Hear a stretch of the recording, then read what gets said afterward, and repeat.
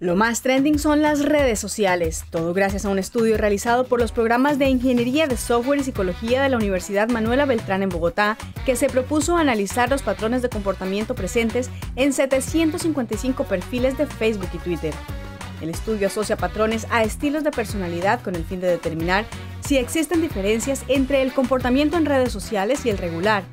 los resultados de la investigación evidencian las diferencias entre las interacciones y comportamientos de las personas cuando se encuentran en entornos digitales y cuando están por fuera de ellos. Los investigadores clasificaron los perfiles utilizando los siguientes animales: